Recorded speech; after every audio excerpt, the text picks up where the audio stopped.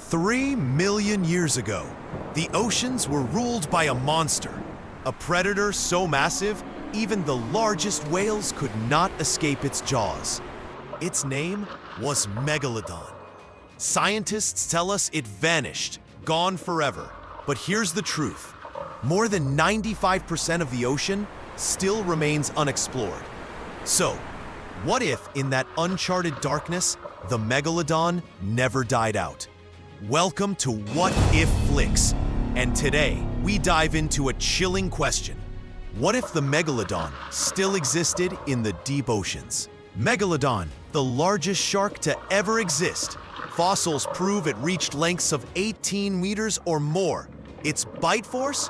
Over 40,000 pounds per square inch. The strongest bite of any creature in history. Imagine jaws wide enough to swallow a human whole in one strike. So nearly 20 million years, this beast dominated Earth's oceans. It hunted whales, giant turtles, and anything that crossed its path. But around 3 million years ago, the oceans began to change. Temperatures dropped. Ice ages came. Whales, its main prey, moved into colder waters.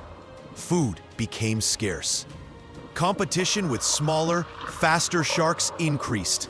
And so, scientists believe the megalodon disappeared. Extinct. But extinction is a theory. The deep sea tells no stories. The deep ocean is Earth's last frontier.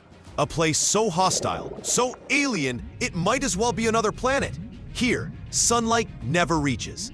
Temperatures hover just above freezing, and the pressure is enough to crush steel. And yet, life thrives here.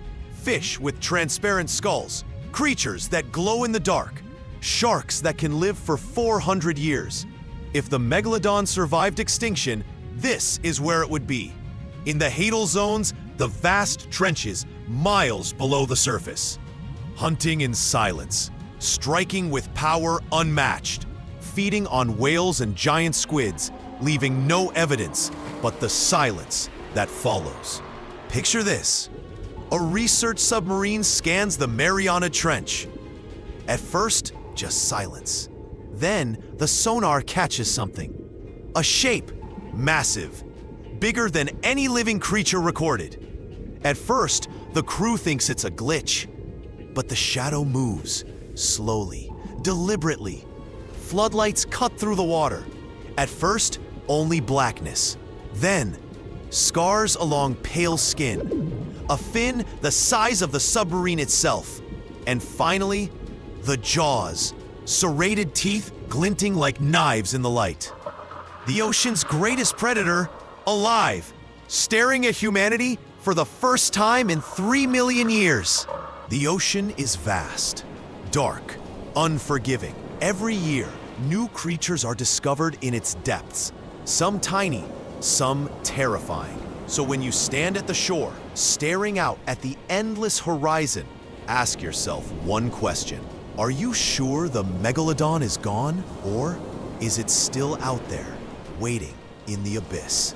If you enjoyed this dive into the unknown, don't forget to like, share, and subscribe to What If Flix, where imagination meets reality.